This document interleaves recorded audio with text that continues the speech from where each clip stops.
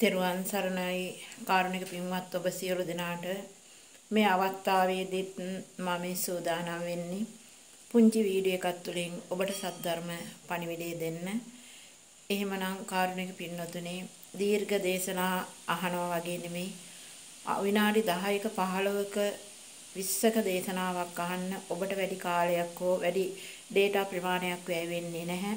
නමුත් ඔබ මේ කාලය ඒ විනාඩි 15ක 20ක කාලය වෙන් කරගෙන වැඩ කරන ගමන් හෝ මේ දේශනා අහනවා නම් ඔබට යමක් ලැබෙන බව නිත්‍ය වශයෙන් සහතික වශයෙන් මට කියන්නට පුළුවන්. එහෙමනම් කාරුණික පින්නතුනි අපි අදත් දැනගනිමු තථාගතමහමෙනි බුදු පියාණන් වහන්සේ අපට දේශනා කරේ සද්ධර්මයේ ගැන පුංචි පණිවිඩ තුලින් අපේ ජීවිත සකස් කරගන්නට ධම්මංචරේ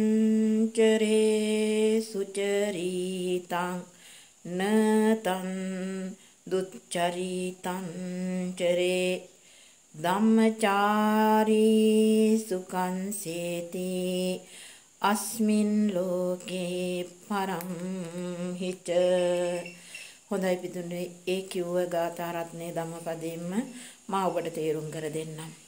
ධර්මයේහි මනාකොට හැසිරිය යුතුය. සුචරිතේහි නොහැසිරිය යුතුය. ධර්මයේ හැසිරෙන්නා මෙලව පරලොව දෙකෙහිම සුවසේ වෙසේ. ඒක තමයි පින්නතුනේ තථාගතමාමෑණි බුදු පියාණන් වහන්සේ දේශනා කරලා තියෙන්නේ. ධර්මයේම හැසිරිය යුතුයි. අධර්මයේ බැහැර කළ යුතුයි. දුෂ්චරිතයෙන් නිදහස් වී සුචරිතවත් ශ්‍රාවිකාර්ය ශ්‍රාවිකයෙක් බවට පත්වන්නට අපි කටයුතු කරන්නට ඕන පින්නතුනි. ඒක තමයි තථාගතයන් වහන්සේ අපට දේශනා කරලා තියෙන්නේ. ඉතින් හැමදාමත් මා අවබෝධ කරගත්ත ධර්මය පාලි වචනකින්වත් තොරව ධම්මපදයේ ගාථා රත්නයකින් තොරව ඔබට පැහැදිලි කරා. නමුත් මම අද ධම්මපදයෙන් ගාථා රත්නයක් මුල් කරගෙන මේ ධර්මයේ ඔබට කියා දෙන්න උත්සාහ කළේ අදහස් කළේ. මොකද ඔබට හිතෙන්නට පුළුවන් මේ මෑණින් වහන්සේ ධම්මපදයේ තියෙන ගාථාවක්වත් කියන්නේ නැතුව පාළි වචනයක්වත් කියන්නේ නැතුව සූත්‍ර දේශනා කියන්නේ නැතුව මේ ධහම කියාගෙන යනවා. මේක මෙයා අවබෝධ කරමු එකක්මද කියලා තේරෙන්න පුළුවන්. දැන් ඔබට පැහැදිලිද පින්නතුනේ බුදු පියාණන් වහන්සේ මේ ගාථා රත්නය තුල දේශනා කරලා තියෙන්නේ.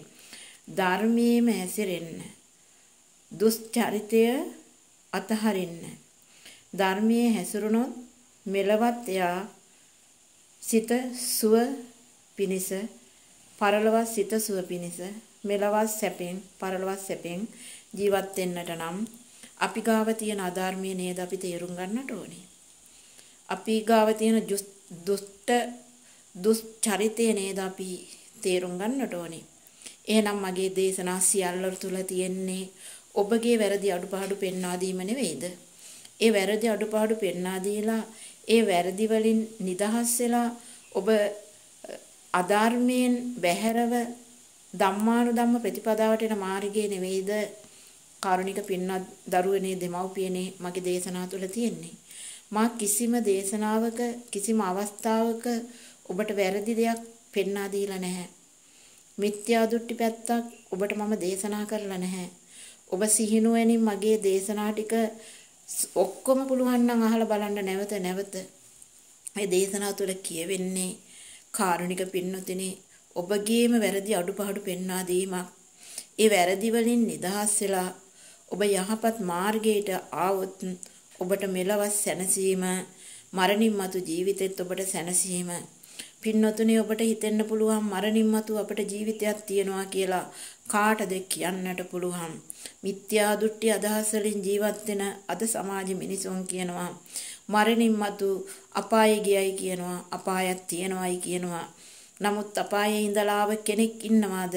අපායට ගිහින් අය අපව නැවත ඇවිල්ලා කවුරු හරි කිව්වද මං අපායට වැටුණා මේ පව් කරපු නිසා උඹලා මේ පව් කරන්න එපා උඹලත් අපායට වැටෙනවා කියලා කවුරු හරි කෙනෙක් අපායට ගිහින් ආපසු ඇවිත් ඒ පණිවිඩය කිව්වාද කියලා අහන මිත්‍යා දෘෂ්ටිය තවත් වැඩි කරගෙන පාප කර්ම කරගන්න පිරිස් අද සමාජයේ සිටිනවා පින්නතුනේ පින්නතුනේ භාග්‍යවතුන් වහන්සේ යමක් කිව්වා නම් ඒකේ සේම තමයි භාග්‍යවතුන් වහන්සේ බුදු බුදු කෙනෙක් බුදුමමින් යමක් කිව්වා නම් ඒක සත්‍යමයි.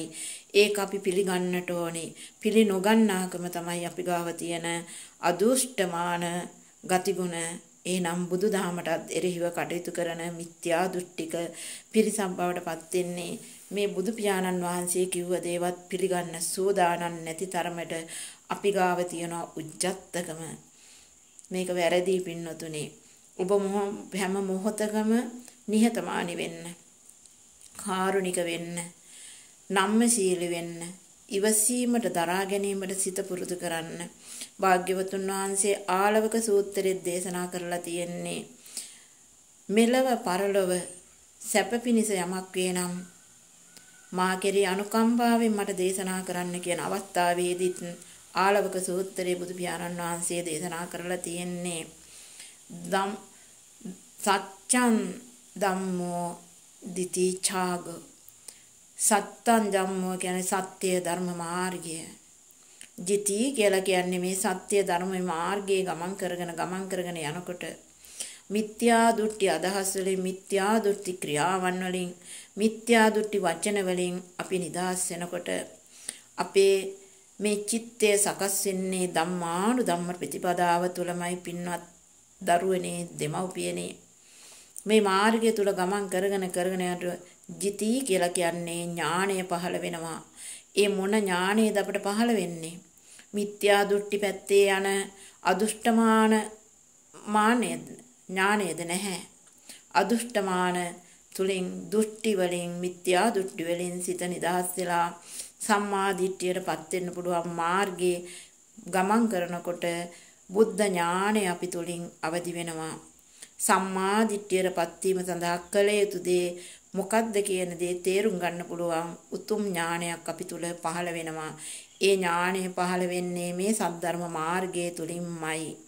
ඉවසීමට දරා ගැනීමට සිත පුරුදු කිරීමමයි ධර්ම මාර්ගයේ ගමන් කරන කෙනෙක් කළ යුතු පළවෙනිම දෙය. ඉවසීමක් නැති නිසා ඉවසීමට දරා ගැනීමට සිත පුරුදු කිරීමක් නැති නිසාම තමයි පින්නතුනේ මිත්‍යා දෘෂ්ටි පැත්තට වැඩිපුරම අපේ මේ මනස හැරෙන්නේ. ඒ කියන්නේ පින්නතුනේ අපි මෙතනදී මොලේ සහ හදවත කියලා දෙකක් අපි ඇත්ත තියෙනවා. ඒක මා කියා දෙන්න ඕනේ ඔබ ඒක දන්නවා. කාරුණික පින්නතුනේ මෙතන අපට වැරදුණු තැන තමයි මේ මොලේ පාලනය කරන්නේ මායя විසින් කියන දේ තේරුම් ගන්න බැරිකම. නමුත් බුදු පියාණන් වහන්සේ එහෙමනම් මේ බුද්ධ ස්වභාවය එහෙම නැත්නම් අපි කියනවා බුදුහාමුදුරුවෝ කියනවා නොයිකුත් අන්දමින් කියනවා බුද්ධ කියලා කියන්නේ පින්නතුනේ ඊ타ම සියුම් ස්වභාවයක්. ඒ බුදුහාමුදුරුවෝ කොහෙද වැඩින්නේ කියලා ඇහුවොත් මට ඍජුව කියන්න පුළුවන් තම තම හද තුල බුදුන් වැඩ සිටියේ. එහෙනම් Tamanගේ හද තුල වැඩ සිටින බුදුහාමුදුරුවෝ Tamanට දැක ගන්නට බැරි ඔබ මේ මොලේ විසින් දත්ත කබඩා කරගෙන තියෙන කුණු කෙලෙස්යන් වලට යට වෙලා ඉන්නවා. මාරයා විසින් ඔබව අඳුරෙන් අඳුරටම ඇද දානවා. ඔබට වැරදි මාර්ගය පෙන්වන්නෙත් මාර ස්වභාවයයි. ඒනම් ඔබ මොලේ කියන කියන දේ කරනවා. අනුන්ව හෙලා දකින්න කිව්වොත් ඔබ ඒක කරනවා. මේ ස්වභාවය ඔබට දෙන්නේ මාර ස්වභාවයේ විසිනුයි පවිතු මාරයා විසිනුයි. කාමයේ පස්සේ හඹාගෙන යන්න ඔබ ওই පැත්තට යොමු කරවනවා. මේකත් මාර ස්වභාවයමයි.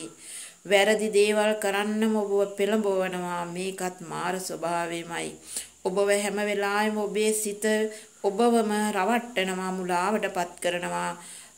හැම දෙයකම ඔබව හසු කරනවා. මේ තමයි මොලේ විසින් ඔබට පාර වරද්දන එකම තැන. ඒකට හේතුව තමයි කාරුණික පින්වත් දරුවනේ දෙමව්පියනේ. මේ මොලේ විසින් දත්ත ගබඩා කරගෙන තියෙන්නේ අකුසල් කර්මමයි. අකුසල් චේතනාවල්මයි පෙර සංසාරේ පටන් ඔබ කරගත්ත අකුසල් දත්ත ගබඩා වෙලා තියෙන්නේ මේ මොලේ තුලයි ඒ මනං අපි කරන්නට ඕනේ මොලේ තේරුම් අරගන්නවා මට පාර වරද්දන්නේ වැරදෙන්නේ කොතනින්ද ඒකට හේතුව කුමක්ද? එහෙනම් මගේ සිතට එන එන එන එන සිතුවිල්ල වැඩිපුරම දවසට එන්නේ අකුසල් සිතුවිලි කියන දේ තේරුම් ගන්නට ඕනේ. අකුසල් සිතුවිලි පහර කරලා අකුසල් ක්‍රියා කරනවා ඔබගේ කයින්. අකුසල් සිතුවිලි පහල කරගෙන අකුසල් වචන පාවිච්චි කරනවා ඔබ. ඒ වගේම අකුසල් චේතනාවම සිතමින් සිතමින් දවස පුරාම ඔබ අනුන්ව හෙලා දකිනවා. අනුන්ට වෛර කරනවා. අනුන්ගේ දේවල් කඩා වඩා ගන්න ඔබ අදහස් කරනවා. අනුන්ට සාප කරනවා. ඒ වගේම දේවාල ගානි ගිහිල්ලා ඔබ අනුන්ට පොල් ගහනවා, පලි ගන්නවා. ඔබ අනවින හෝනියන් කොඩිවින කරනවා. පින්නතුනේ මේ සියල්ල අනුන්ට කරනවා නෙමෙයි. ඔබ ඔබට කරගන්නවා. ඒ පාප කර්මයේ හේතු කොටගෙන ඔබ මෙලවත් තැවෙනවා. පරලොවත් ඔබ තැවෙනවා, ගිනි ගන්නවා, දුකින් දුකටම වැටෙනවා. මොහොතකට කල්පනා කරලා බලන්න මේ මෙහෙණින් වහන්සේ කියන වැරදි අඩුපාඩු මාගාව තියනවද? මමත් මෙවැනි චරිතයක්ද? ඒම චරිතයක් නම් වහාම පින්නතුනේ ඒ අකුසල් අධර්මය අකුසල් ධර්ම දුරු කර ධර්මයේ සිත පිහිටවා ගන්න. ධර්මයේ කියලා කියන්නේ පින්නතුනේ අනුන්ට වෛර නොකිරීම ධර්මයයි. අනුන්ට ඊර්ෂ්‍යා නොකිරීම ධර්මයයි. අනුන්ව හෙලා දකින්නේ නැතිනම් ඒක ධර්මයයි. අනුන්ගේ දේවල් ඕපදූප කතා කර කර අනුන්ට හිංසා කරමින් නිନ୍ଦා අපහාස කරමින් ජීවත් වෙන්නේ නැතිනම් ඒ සියල්ලෙන් අපි නිදහස් නම් අපි ගාව තියෙන්නේ සබ්ධර්මයමයි අර සියල්ල අධර්මයයි එහෙමනම් අපි සොයා ගන්නට ඕනේ ධර්මයේ අධර්මයේ තියෙන තැන සොයා ගන්නට ඕනේ අපි ගාව ධර්මයක් නැති හේතුව හොයන්නට ඕනේ. අපි ගාව කිසිම ධර්මතාවයක් නැත්තේ පින්නතුනේ. අපිට හැම වෙලාවෙම සැරෙන් සැරේට අපි ලෙඩ වෙනවා. ලෙඩවීම නවත්තන්න බැහැ පින්නතුනේ. මේ කය ලෙඩ වෙන එකක් කියන දේ මගේ භාග්‍යවතුන් වහන්සේ මනාව දේශනා කරලා තියෙනවා. මේක දේශනා කරලා තියෙන්නේ කායෝචි ගුජ්ජෝ කය නැමැති ගුහාව කායෝ කියන්නේ කය ගුජ්ජෝ කියලා කියන්නේ ගුහාව කායෝචි ගුජ්ජෝ අසූචි දුගදෝ මේ කය නැමැති ගුහාව තුල අසූචි වලින් පිරිච්ච අසූසි අසූචි දුගදක්මයි කියලා බුදුන් දේශනා කරනවා ඒ නිසා භාග්‍යවතුන් වහන්සේ හැම දේශනාවක් තුළම දේශනා කරලා තියෙන්නේ මේ කයට වටිනාකම් දෙන්න එපා. මේකෙන් ගන්න කිසිම දෙයක් නැහැ කියන දේ භාග්‍යවතුන් වහන්සේ අපට දේශනා කරලා තියෙනවා පින්නතුනේ. ඒ නිසා මා ඔබට කියන්නේ කුමන මොන මොහොතකවත් ඔබ මේ කාය රූප කාය මගේ මගේ ආත්මේ කරගන්නට එපා. එතන තියෙන්නේ මුලාවක්මයි. එතන තියෙන්නේ මිත්‍යා දෘෂ්ටි සංකල්පමයි. ඒ වගේම මේ කය ලෙඩවීම ගැන කලකිරෙන්න එපා පින්නතුනේ. මේක ලෙඩ වෙන එකක්මයි. මේ මොහොතේ නිරෝගීභාවයේ ඊළඟ මොහොතේ අපිට නැති වෙන්නට පුළුවන්. ඒ කය නිරෝගීභාවයේ නැති වී රෝග තත්ත්වයටපත් වුනහම අපේ මනසත් ලෙඩ වෙනවා. ඒ මනස ලෙඩ වෙන්නට හේතුව තමයි ඔබ මේ කයට දීලා තියෙන වටිනාකම. ඔබ හිතනවා මේ කය කවදාකවත් ලෙඩ නොවි තියෙන්නට ඕනි කියලා. ඔබ හිතනවා මේ කය කවදාක්වත් වයසට යන්නේ නැතුව හැමදාම තරුණකම තියෙන්නට ඕනේ කියා. ඔබ හිතනවා මේ කෙස් ටික කළු කෙස් ටික සුදු වෙන්නේ නැතුව සදාකාලික කළුවටම තියෙන්න ඕනේ කියා. ඔබ හිතනවා මේ හොඳට පේන ඇස් දෙක කවදාකවත් නොපෙනෙන තත්ත්වයටපත් වෙන්නේ නැතුව හැමදාම මේ පෙනීම මෙලසින්ම පවතින්නට ඕනේ කියා. ඒ වගේම ඔබ හැමදාම මේ කය පෝෂණය කරන්න උත්සාහ කරනවා. මේ කය සැපවත් කරන්න උත්සාහ කරනවා. කවදාකවත් මේක එහෙම කරලා ඉවර කරන්න බෑ පින්නතුනේ. ඔබ දකින්නට ඕන ආදීනව ඔබේම මේ රූප කාය තුලයි. රූප වේදනා සංඥා සංකාර විඥාන රූපේ නම් මේ රූප කායයි. වේදනාව නම් මේ රූප කාය තුල ඇතිවෙන වේදනාව නිසා අපේ මනස තුල ඇතිවෙන හිත් වේදනාවයි. කයේ වේදනාව නිසා හිතත් ලෙඩ වෙනවා. කය ලෙඩ වුණු ගමන් හිත ලෙඩ වෙනවා. ඒ කය ලෙඩ වුණාම හිත ලෙඩ වෙන්න පින්නතුනේ මේ කය ඔබේ ඔබේ ආත්මය කරගෙන ඉන්න නිසා ලෙඩ නොවෙන්න ඕනි කියලා හිතාගෙන ඉන්න නිසා. නමුත් මේක නවත්තන්න බෑ පින්නතුනේ. භාග්‍යවතුන් වහන්සේ ලෙඩ වුණා නම් සියලු රහතන් වහන්සේලා ලෙඩ වුණා නම් සියලු බුදුවරු ලෙඩ වුණා නම් රෝගයටපත් වුණා නම් මරණයටපත් වුණා නම් අපිට පුළුවන් දෙයින් වලකින්න එයින් වලකින්නට බැහැ පින්නතුනේ. නමුත් අපිට එක දෙයක් කරන්නට පුළුවන්. ඒ තමයි මේ තථාගත සද්ධර්මය අවබෝධ කරගෙන තමන්ගේම වැරදි අඩුපාඩු කුණු කෙලෙස්යන් තමා තුළ තියෙන දේවල් තේරුම් ගන්න වටහා ගන්න අවබෝධ කරගන්න අවබෝධ කරගෙන අවබෝධයෙන්ම ඔබ ගාව තියෙන වැරදි අඩුපාඩු අත්හරිනකොට ඔබ ඔබෙන් නිදහස් වෙනවා එහෙම නැතුව ඔබ කොපමණ බණ ඇහුවත් ඔබ කොපමණ දන් දුන්නත් මල් පහන් පූජා කෙරුවත් 365 දවසම සීලය රැක්කත් ඔබට ඔබෙන් නිදහස් වෙන්නට මේ සංසාර රෝගය සුවපත් කරගන්නට ඔබට පුළුවන්කමක් නැහැ පින්නතුනි. ඒ නිසා කල්පනා කරන්න හැම වෙලාවෙම අනුන් ගැන සොයන එකද එකද මට වැදගත් වෙන්නේ මා ගැන සොයාගන්න එකද ඔබ ගැන සොයා ගන්නවා කියලා කියන්නේ පින්නතුනේ හැම වෙලාවෙම ඔබගේ කයෙන් වරදක් කාටවත් අනුන්ටවත් Tamanටවත් අයහපතක් නොකර සිටීමට වීරිය කරන්න. වචනෙන් ඔබටවත් අනුන්ටවත් අයහපතක් නොවන විදියට වචන භාවිතා කරන්න වීරිය කරන්න උත්සාහ කරන්න. ඒ වගේම ඔබේ චේතන හැම වෙලාවෙම මෙත්තා කරුණා මුදිතා උපේක්ෂා ගුණ ධර්මම දිනු කරගන්න. ඒ වගේම විශේෂ දෙයක් ඔබට මම හැම දේශනාව තුළින්ම කියනවා. මියගිය අතීතයේ දේවල් අල්ලගෙන විඳවන්න එපා පින්නතුනේ. ඒ තුල ඔබට සැපක් නැහැ දුකක්මයි තියෙන්නේ. එහෙම කල්පනා කරලා කරලා කරලා අන්තිමට ඔබගේ මනස ලෙඩ වෙනවා. මනස ලෙඩ වෙනකොට කයද ලෙඩ වෙනවා. ඔබට හිස රදේ හැදෙනවා. ඒ වගේම සමහර අය අතීතයේ ඇති වුණ දේවල්, නැති වුණ දේවල්, විඳ දේවල්, විඳවපු දේවල් ඔය එක එක්කෙනා කියපු කරපු දේවල් මතක් කර කර රෑ ඉල්ලි වෙනකන් නිින්දක් නැතුව කල්පනා කරනවා. අන්තිමට උදේට ඔබට ලැබෙන ප්‍රතිඵලය තමයි නිින්ද නොගිය නිසා ඔබ නිදි වරාගෙන මේ කුණු මතක් කර කර කල්පනා කර කර හිටපු නිසා ඔබට ඔළුවේ කැක්කම හැදෙනවා පහුවදාට වැඩ කරගන්නවවත් බෑ මේ අත්දැකීමට ඔබ මෝන දීලා ඇති.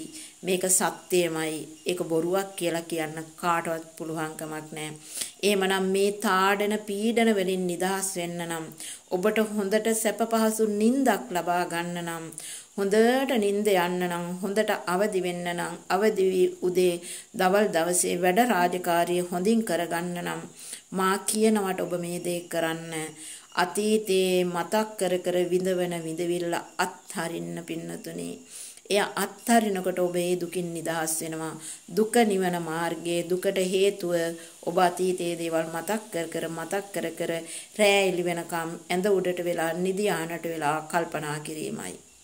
එහෙනම් ඒ දුකින් නිදහස් වෙන්න නම් දුකට හේතුව අතීතයේ කුණු අල්ලගෙන කල්පනා කරපු එක නම් ඒක ඔබට වැටහිලා තියෙනවා නම් මේ දේශනා වහනකොට ඔබත් ඒ වගේ චරිතයක් නම් ඒ දුකින් ඔබට නිදහස් වෙන්න තියෙන එකම දේ තමයි මේ මොහොතේ සිද්ධ වුණා නම් යමක් ඊළඟ මොහොතේ ගැන නොසිතා සිටීම. අත්හරින්නේ මේ විදියටයි. අත්හරින්න අත්හරින්න කොට අත්හරින ක්‍රමය දන්නේ නැහැ.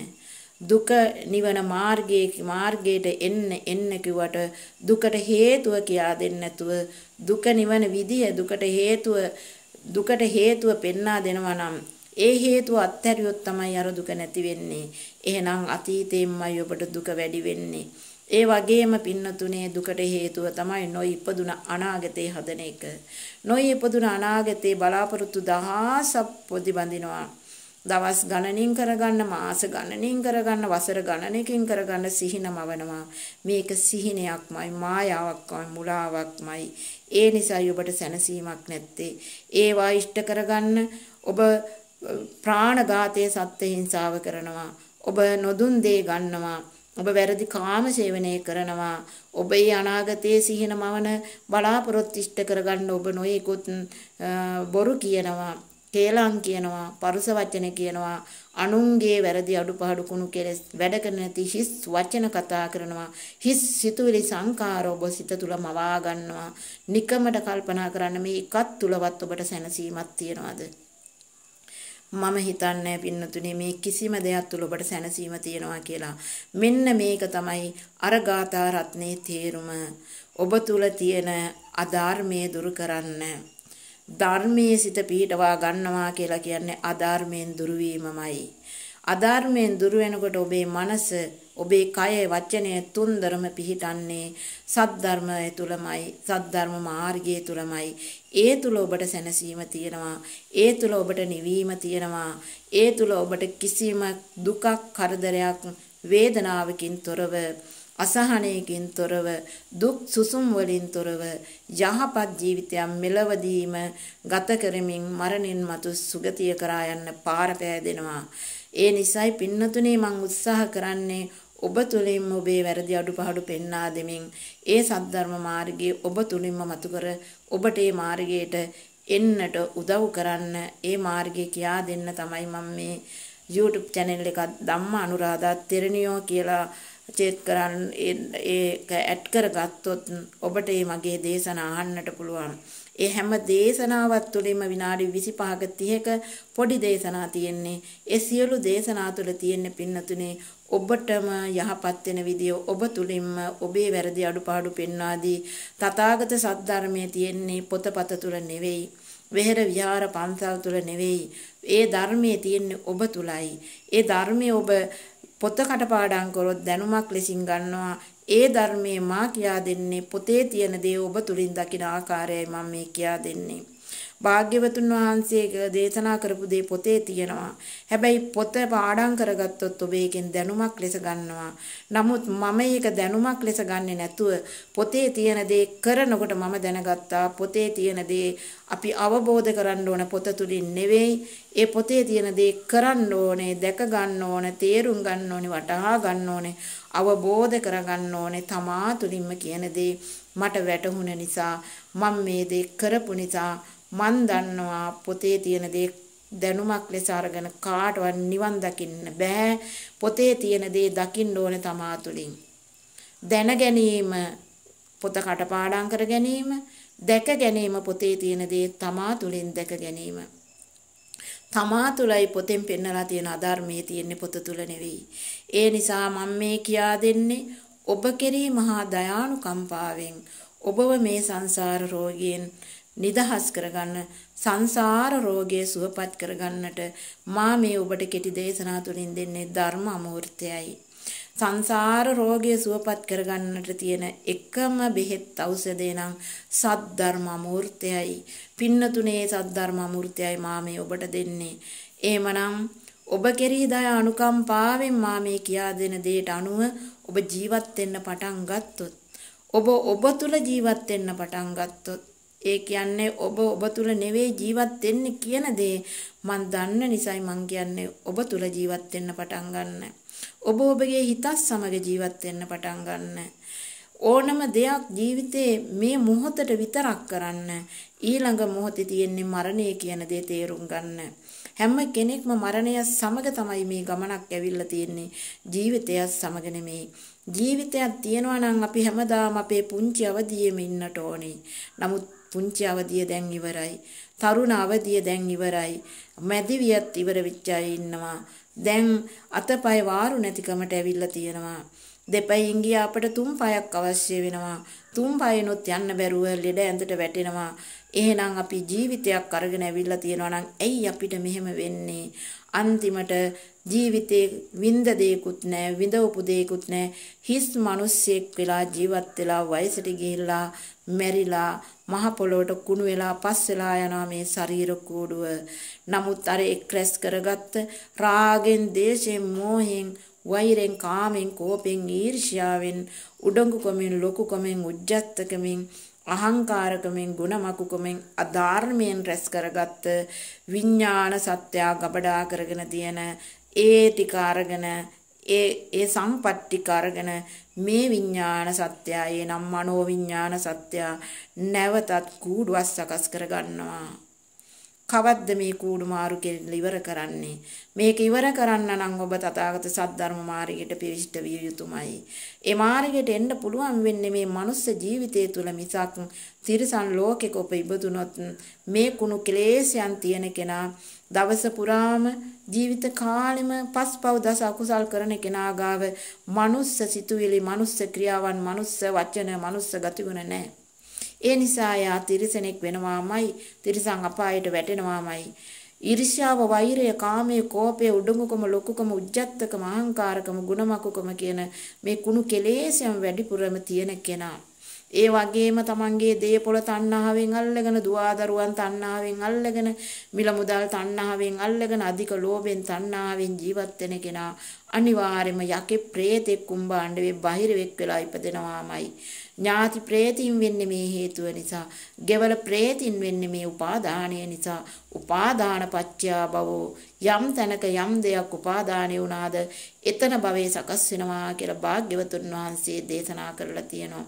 ඉතින් ඒ දේ මා හොඳටම දන්න නිසා ඒ සියලුම උපාදාන කඩලා විනාශ කරලා ඒ සියල්ලෙන් සිත නිදහස් වෙනකොට ඒ නිදහස් වීම තුල තියෙන නිවීම මං අත්දැක්ක නිසා ඔබත් ඒ தත්තරපත් වෙනවා නම් මම ගොඩක් කැමැති සෑම සත්‍යෙක්ම මේ උතුම් ලෝතුරු නිවන් සුවය අත්විඳිනවාට ඒ නිසාමයි ඔබ කෙරෙහි අනුකම්පාවෙන් මේ ධහම ඔබ තුලින්ම පෙන්වා දී ඔබට කියා දෙන්න උත්සාහ කරන්නේ.